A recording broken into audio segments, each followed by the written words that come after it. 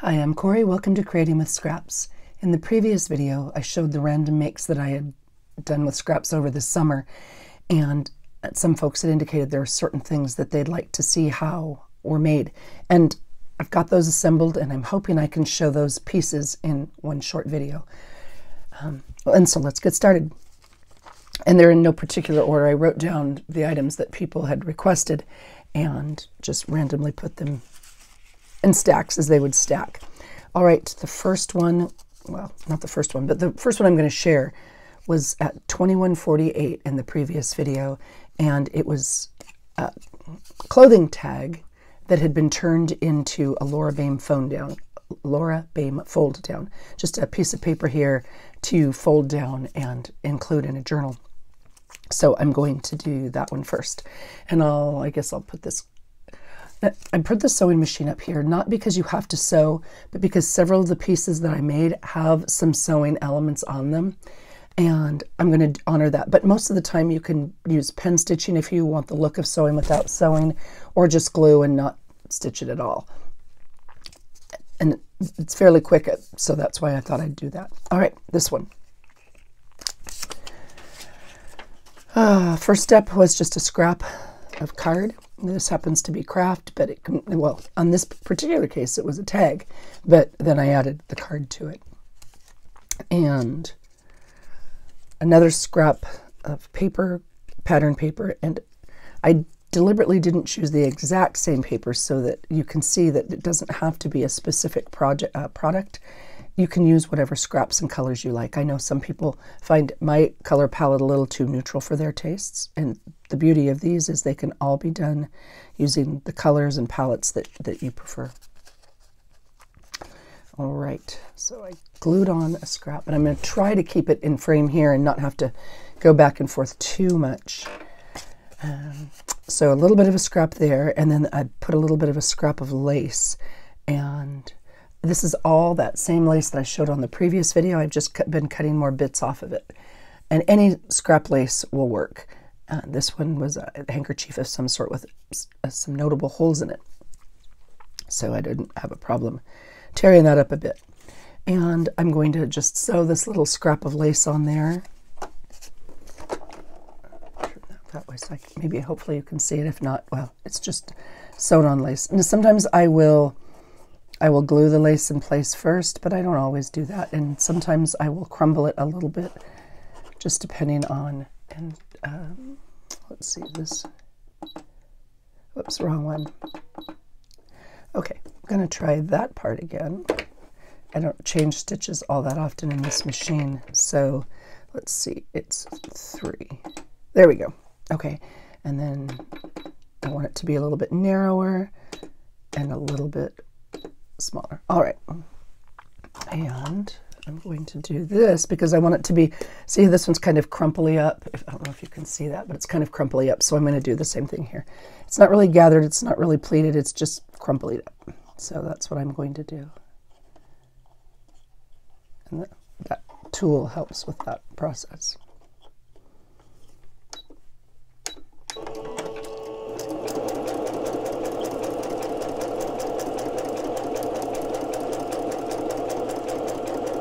I've got it on a slow speed so that I don't go faster than the machine likes. Okay, or basically so I don't make a mistake. All right, so I've got that piece sewn down. And if it's too wide or I don't like it, I can easily trim it at the end because it's just scrap. Okay, so there is the sewn bit. And then I'd put a label on top. Uh, just a blank, any old blank label or a ticket, a Tim Holtz ticket would work just fine. And I kind of like the balance. Now this one, hmm, oh, I guess that'll work just fine. And I wanted it to, like, like on here, I want it to drop down just a little bit over the edge. So I'll do that too. I'm trying to put all the tools in small area simply because I've got all the projects laid out.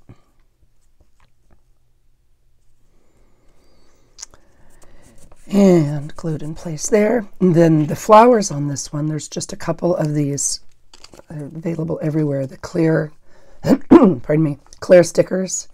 And I'm going to peel those off and put them in place. And then what I do on the back is I'll just put a little bit of baking soda or baby powder to keep it from being extra sticky. So that's that's how you achieve that. You can get the overflow look without Oh, that's right. These are these are a challenge. They do come apart. They are stickers, even though they don't always seem like it. But getting it started sometimes is a challenge. Okay, there we go. Okay, and let's see. I want it to stick over the top just a bit. Put that there, and then the second one.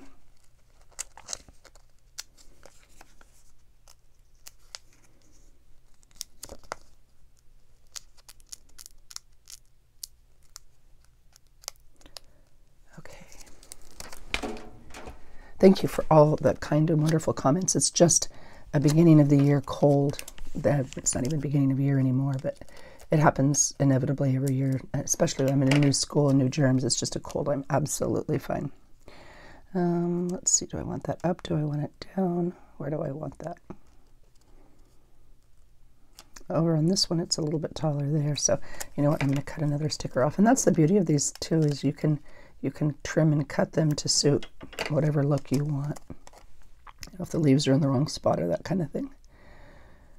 And I don't want it to go too high. Hmm. Okay. So I wanted to fill that gap. And some, sometimes I'll do that. I'll just cut the stickers to make them work with what I want. And I'll glue it down there or stick it down there. Okay.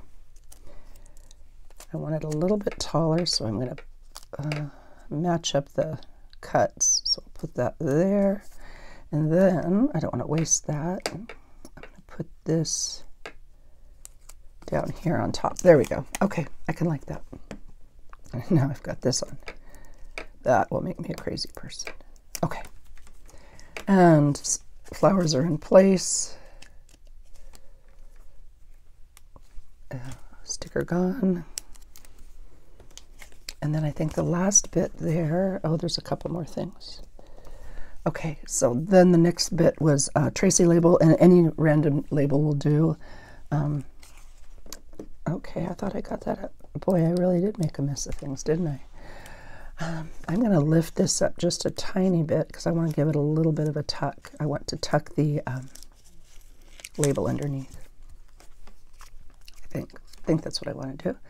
I grabbed some products from my scrap bins and the canisters. Let me make sure that's right side up. Yeah. But I didn't, I didn't overly plan. And by that, I mean, I didn't, uh, you know, decide exactly where everything was going to go before I started. Well, I want a little bit to peek from the bottom. All right. So there is that. And again, I'll put baby powder or baking soda not baking soda, cornstarch. That's what I'm looking for on the back of either of those. And then this one has an eyelet hole and a bit of string because like I said, this was a tag. It started life as a clothing tag. There was a challenge for that. So I'm to punch a hole down here. And I put, oh, here we go. I was to say I put some little eyelets off to the side so that I could just grab them easily. And the eyelet, is that the right size hole? We'll find out. Okay. Hole for interest, and then just a bit of string. I could use lace there too if I wanted a ribbon. And in fact, this one has string, and this one's kind of feminine, so I mean, they're both kind of feminine. I guess I could put string there, or I could put a bit of sari silk. No, I'm going to do. I'm going to stick with the what I did here. But I could just know that you could use lace or sari silk or whatever, whatever you choose. Now, I could also, if I wanted to, drop a dangle on this or a bead or a charm or what have you. It doesn't have to be exactly like that. If you are wanting a little bit more bulk or a little bit more decorative element, you can add that there. That would be really, really pretty on this. All right. String in place. And there you go. So a little bit different, but essentially the same idea. Uh, the other thing, because I said it's a, a fold down, what I do is I get, um, I didn't put the paper on this because I wanted to show that it was a tag. Uh, the idea is this will fold down in the book. So you just do the same simple accordion pleat. You glue your paper onto the back and fold it back and forth. And then when you put it into your book, it will fold down. And you know, you see me glue paper on there. But that's all it is. You just make accordion pleats. You can use your um, you can use your scoreboard or not. Completely personal preference. But so there you go. There's the first one. All right, let's go a little quicker for the next. This one was at 22.10 and it's just an extra glassine bag turned into a double tuck. Uh, so there's a, a pocket right here and then there is a pocket down here. So let me show you how I made that. And again, this one's sewn, which is, so I grabbed that. All right, this one's just a little bit bigger bag, but it was an extra bag or scrap bag. And these are available on Amazon and I'm sure and Etsy, lots and lots of places on Etsy. It is a glassine bag. Um, fold it to the width that you want, depending, like if you're using a tall, narrow journal, it might be a little narrower. If you're using um, a wider journal, maybe you want a wide pocket, whatever. I'm just going to make a random size. All right. So just took the end of the bag and folded it over. And I've got some bits here. Now on this one I could leave it the way it is because it's got a really pretty coffee pattern and maybe I will. But on this one you can see it didn't. It was just a solid color so I just put a scrap piece of paper cut to that size. And I don't know that it adds anything by having that tissue paper. Well let's look and see. And then just a couple little scrap bits are what I used to build a base. And I see, I really like that so I'm not going to bother to put more paper on it. And it looks like there's a little bit of lace in there somewhere. This is too much. So I grabbed it just again, a scrap of that lace. Um, let's do that. Okay, well, I tore it, so that's okay. We'll put both pieces on. It will work just fine. Okay. And I'm going to glue this these two pieces together just so they hold in place while I sew them on the machine. I don't know how well you can see that because it's black. Sorry. And I've got a smaller work screen. So I just took a black torn strip and I glued it to a piece. This is, it looks like it's a piece of book spine. When I tear apart a book, I save the old spine. Or if it's already disassembling or tearing apart itself, I, I save that because I really like the way it looks. And then I'm going to put a bit of glue to hold this in place while I sew it. And that's just an offcut of that lace. It was on the other side on this one, but I guess that doesn't really matter. No, it doesn't really matter at all.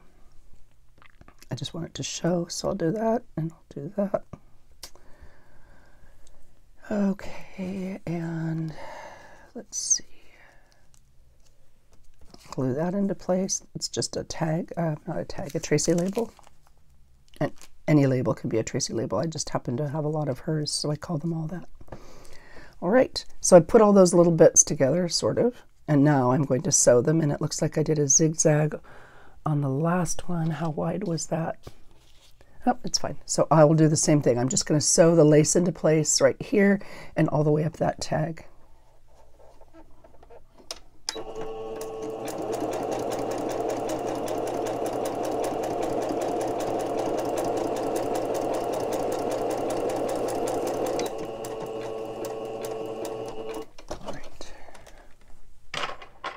I, per personal preference, I keep a pair of scissors next to the sewing machine just for threads. That way they always stay sharp and I don't use them for anything else.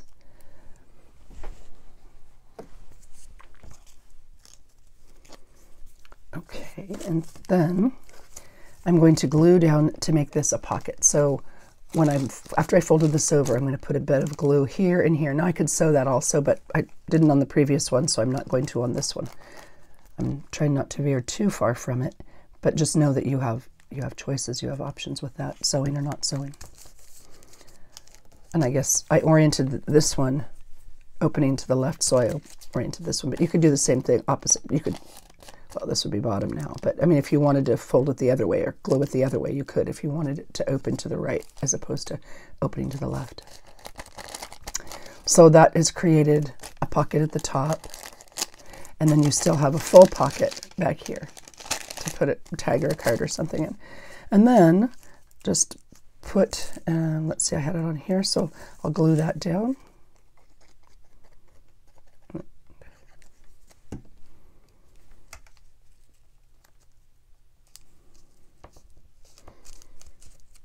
And then a butterfly, there's a little bit of a butterfly on there, and that transitions, or combines, I shouldn't say transitions, it combines the pockets and the two pieces together. And let's see, I should have moved the lace. Maybe that's why I had the lace over here on this one. Well, that's okay. We'll just go like that. I don't need to be able to read the, the words. I don't even know what they mean. There, it looks like they're in Spanish, maybe. Hopefully I don't say anything obnoxious. I apologize if they do. All right. And then I will grab a black pen and just give this little guy some antenna. Maybe they're a little short, but and that that is that. A same version, different different items made with it. Similar version, not the same. okay, moving right along. Trying to move right along. Uh, okay, this one. This is one of, this was actually a copycat of Tracy Fox. It's, I mean, hers is different, of course, because Tracy is amazing. But I used her idea of taking two tickets and sewing it along the bottom of a transparency to create an extra pocket or a tuck. And then this is just a word card with a bit, tiny bit of lace sewn onto the end. Love, love, love the way that looks. I, and I've seen other people do it um, as well, but Tracy was the first one I saw do it. So I am giving Tracy that credit. And this is a printed transparency. These the ones the ones I've got are from Tim Holtz. But any printed transparency will work. And if you don't have printed, you could use plain transparency. Somebody asked on the previous video also, I get transparency. I've got an old box, but you can purchase it through Amazon or Office Depot. Just check it because there's different thicknesses, and I think they're like two or three ml, five ml, eight ml, and that'll give you, you want a middle weight. The really, really thin ones don't hold things well, and the really, really thick ones are hard to glue or sew. So go with the middle weight if you're if you're searching for some. And this was the tag at 2636 in the previous video.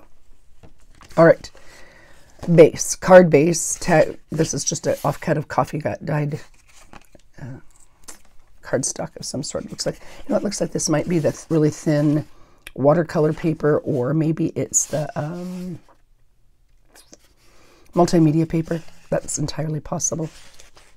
And then you decide what length you want your tag. This particular Tim Holtz Transparency is about this length, so I think I'll use that as my guideline. Now, you can see here so that I could sew the top of the transparency to the tag without having to impede the hole. And I could do it where I put it all the way to the top and sew down and then put the um, lace tag holder hole, I guess. But I'm going to, again, try to stay what I with what I did on the previous one. So I'll drop it down a little bit. I don't know, that's what, three quarters of an inch or something like that. I don't think it's a full inch. Um, it's between half and three quarters. So, you know, just eyeball it. And then I will hold it in place. A lot of times I'll clip it in place, but for the sake of speed and ease here, I will just hold it in place and then I'm going to sew. You could use, you could glue it down and then use washi tape to cover the glue if you like. That would work really well. Just make sure you glue the washi tape on top of it so that the washi doesn't peel up. Glue stick works well with washi, as does just a fine line of art glitter or Bearly Art or reptile glue, whatever glue your preference is. Right. And so that's sewn across the top. All right. And there's going to be one more bit that I sew at the bottom, but what I'm going to do now is trim this off. And the transparency was a smidge wider if you can see there, I don't know if you can, it was a smidge wider than the actual tag. So I'm going to trim that. And that's one of the reasons I left it a little bit of space at the end with my stitches because I knew I wanted to trim that down and I wanted to give it a little bit of room. And oh, it's just pretty pretty even on that side. All right. Then you just cut the corners to make it into a tag. Now I'm going to use the punch simply because I have it and it's fast, but you there's a gazillion videos on how to trim corners and you can just take two two pieces off. All right, trimmed the corners. I didn't pull out that punch. This is a tag, badge tag punch, bag badge badge punch, I believe is what it's called. And it's just kind of got a long oval. So if you haven't seen one of these, and they're also available on Amazon, I imagine office supply stores would have them as well, but I got it on Amazon.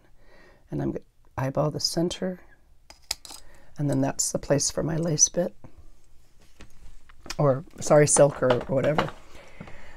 All right, so that's the top of it. And now the bottom, to create the bottom of it, um, let's see if I can get this actually in frame so you can see it. That is two tags laid on top of each other and then sewn in place. I had this little itty bitty card that I thought the color wise it worked pretty well. So I might, and I teach in Tacoma, Washington, so I thought that was kind of cool. This says Tacoma, but um, it may not fit, so I might have to cut that off which is okay too.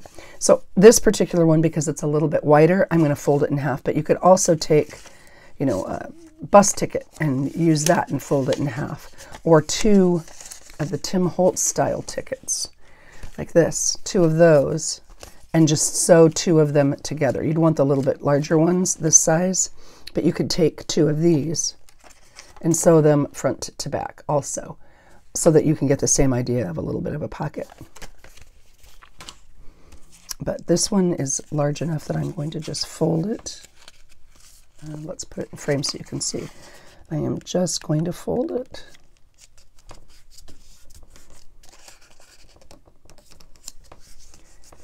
And I'll trim it off to fit because I want it to fit in there.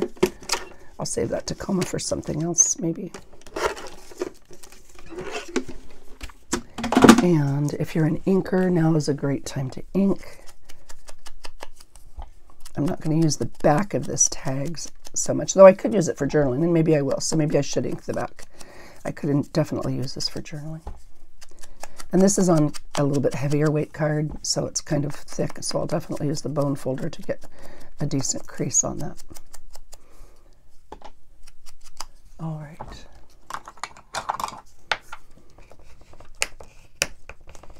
And that just makes a sharper crease at the bottom.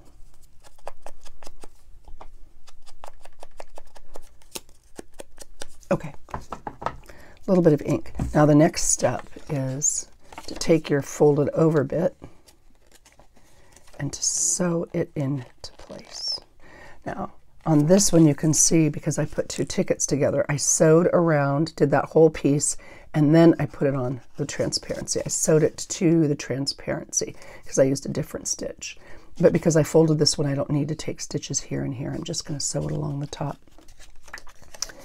And I'll put a tiny bit of glue on the one side to hold it together.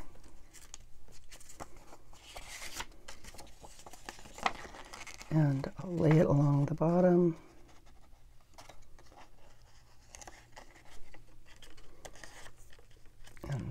Glue that into place and make sure it's mostly straight. You have a little bit of wiggle room there. There you go. All right, mostly straight. And now I'm going to just sew right along here. This part is glued. This is folded over, so it makes that little tiny pocket. And then this will be my opening for the journaling card, or in this case, I would just use a word label. And, and I'll use that same stitch in the same width, simply because it's there.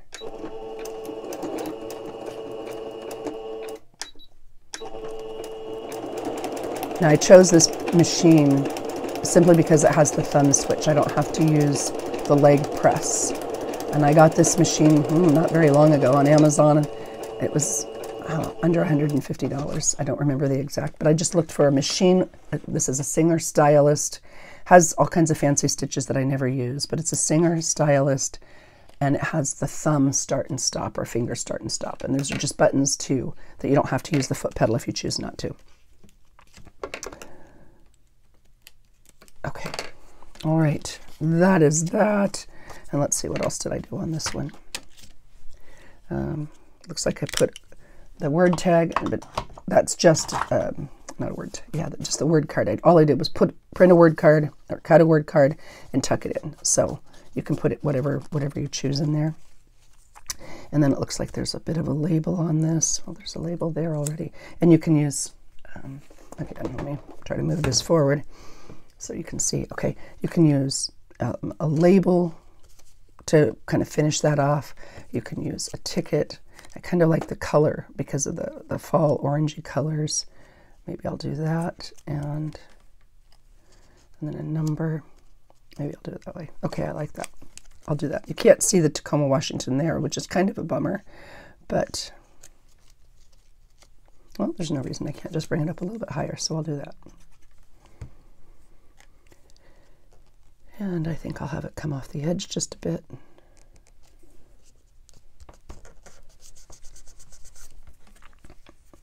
And top, low. No, you can still see Tacoma if I do it that way. Okay, I like that. I just tossed out some pieces, so I didn't know. Oh, maybe a smaller one. There's this one too. And that way you could see more of the, the word but that's the same color. So maybe, oh, you know what, I'll put it up there. Then you can still see all of the Tacoma, but you've got a bit more of that color. So this is another Tiny Tracy label. Okay. And put that up here. No, I want it at the end. All right, there you go. And then again, I would just put it on. Oh, top. Sorry, here's a bit of sari silk just because I've got some nearby. So to put this on the top, I ink it before I put the silk in because it's just a lot easier to do. And then if I wanted to, and I probably would, I could just cover the, actually I could write on it just like it is because it doesn't need anything. If I wanted to, to cover the stitches, I could um, put a little bit of washi tape or something. So there is the tag. And I am going to change the stitch just for the sake of, when I put these on, I almost always sew them simply because it makes it more flat. That's my sole reason.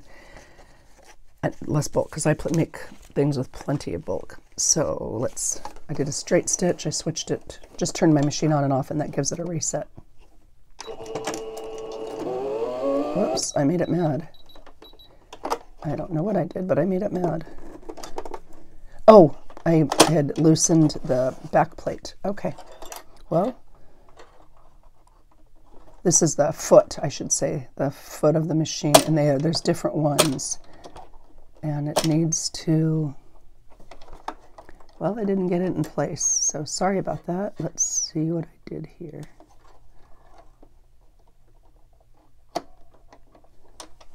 It's not picking it. Okay, normally the way this works, oh, there we go. There we go. Okay, and it just attaches. All right. I don't know what I did to make it mad, but I loosened it somehow. I probably hit the wrong button.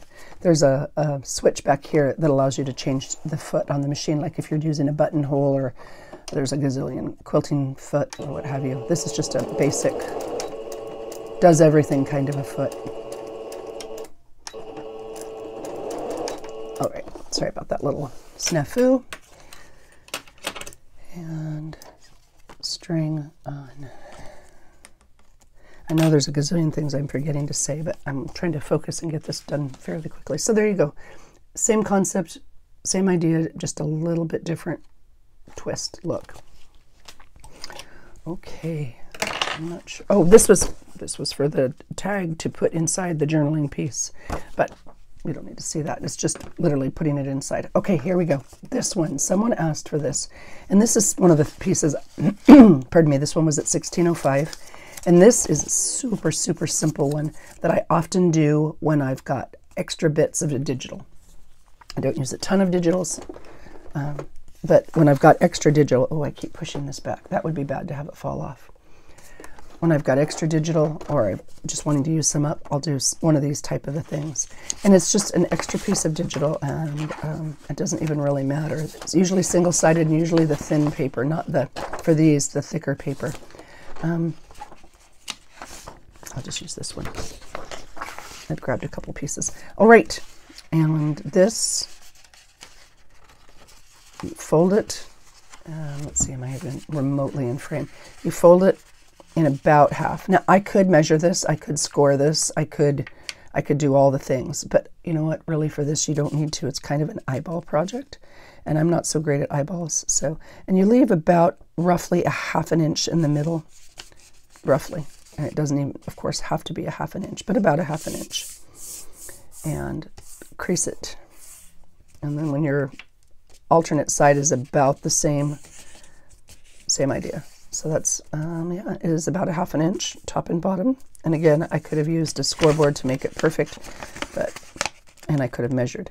So if you're a little bit more of a perfectionist than I'm being right now, you can absolutely do that. All right. And then the way I got this color in the middle, because it's a single dyed sided, I took my ink pad took my ink pad and I went like this down the middle. All right, that gave me that effect. And then I, you can either use the blending brush or either either tool, it doesn't really matter. And then just fill in the blank where there's a little bit of white where I ran it, ran it down. And that's how I got that effect. Just smear some of this ink around. Then you have color in the middle. Well, let me move this out of your way. You've got color in the middle when you had a solid white paper. It's a, it's a quick way to get that effect.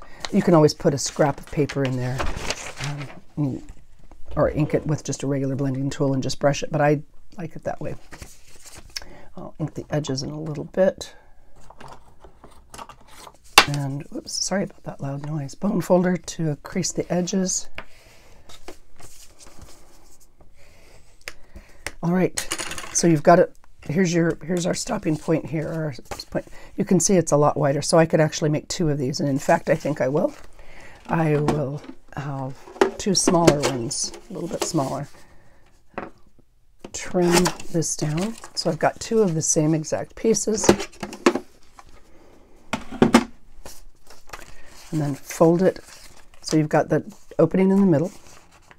And then fold it in half so your sides are the same. Folds like them so in half.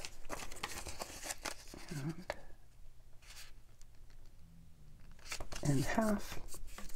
All right, then in order to make it so that it opens all the way to the edge, what I do is, again, you can score it or you can just fold it. Completely up to you. I'll score one and I'll fold one. I'll fold about, I don't know, a quarter of an inch on the bottom.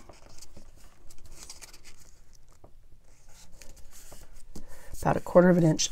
You kind of want that straight. So if, if it makes more sense for you to score it, absolutely score it. But you have a little bit of fold wiggle room when you're gluing. So, you know, I don't know, it's not crucial, but so fold it up. Then unfold it. And you've got something that looks like this with a bunch of creases. You can do it one of two ways. I find it a little bit easier to leave the right and left side pieces intact and cut down the middle. But if it makes more sense for you to cut the middle, you can do that.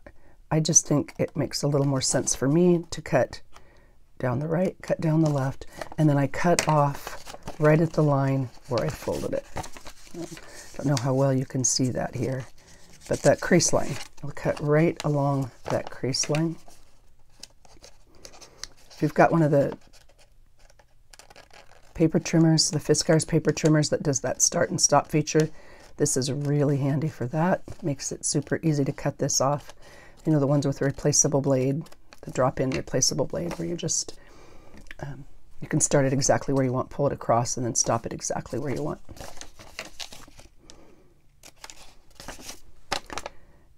I'm cutting the bottom at an angle to the right-sided crease and the bottom crease, and then I did the same thing on the left with the left-sided crease and the bottom crease. And I will trim this side off.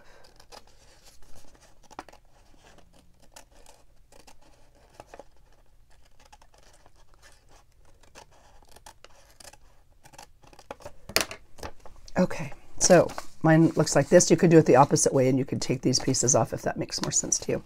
And then I'm going to do the same thing on these corners. Just trim those down a little bit. That way when I fold them, they won't impede the maneuverability of the pockets. Okay.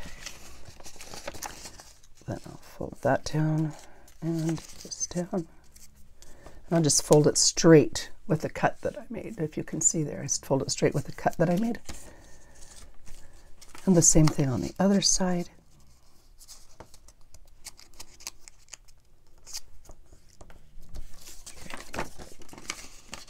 I've got the cord here with the microphone because sometimes I mumble when I talk, I've been told. So there you go, and there you go. And you know what? These um, these are a little bit, this is probably more like now this is a full and half an inch, and this is maybe not quite a half an inch. So if I don't have enough of an opening, I'll just trim this down. It, I want it to be a little bit more space in between, so I'll trim both the right and the left about the same. Again, it does not, absolutely does not have to be perfect, but there we go. That's the beauty of this particular project. Now I'm going to get a circle punch and this is, I don't know, maybe an inch, an inch and a half, something like that on this circle punch.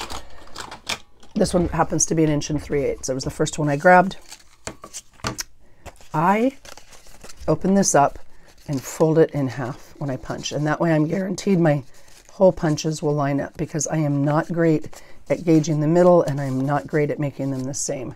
So to me, it's worth the extra few seconds to do this because I would not center it correctly otherwise and again, I don't, again, I don't truly don't mind if it's perfect, but I want it to be kind of close. And I'll mark the middle. And then I take a partial divot out of each. Doesn't even have to be a lot. Whatever hole circle punch you've got. And I, if, if you're new to this, and I've got said several people say that they're new to junk journaling and to my channel, I when I'm talking about supplies, one that you'll use, most people use very, very frequently and is worth the investment is a couple different sizes of circle punches. They have a ton of uses and uh, you can find them often at thrift stores, secondhand stores, yard sales, that type of thing if you don't want to purchase a new one. But they come in really handy. So I inked those edges because it just makes more sense. And then all I have to do now is glue it down. And, you know, I was going to show you the second one, but it's the exact same principle. You do the same thing, and you, the idea is that you can make it in any size that meets your journaling needs, your whatever size journal you're working with or whatever size scraps you've got. So I'm going to cut those down, or glue those down. And the same thing on this side, just thin bead of glue on each side. Glue those down. Now, this can be an individual item that you put, can be a single item that you tuck in and out. But generally what I do, because there's a seam right here, I will put this in a signature of a journal and I won't do glue these in place until I'm almost done with the journal so that I can, like if I wanted to sew something or glue something or make a pocket on the backside. So this would be an insert in your signature right? And then you open it and you've got a pocket on the left and a pocket on the right, and then whatever pieces you had on the back. So again, I would probably, well, I definitely would.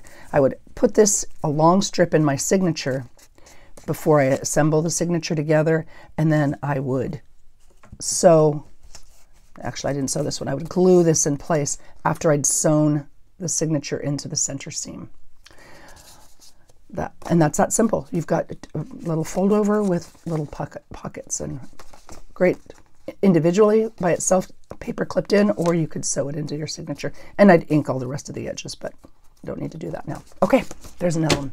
Okay, rolling with, oh man, this is going to be long. I am so sorry. You know what? I have got, let's see, one, I'm going to go with part A and part B.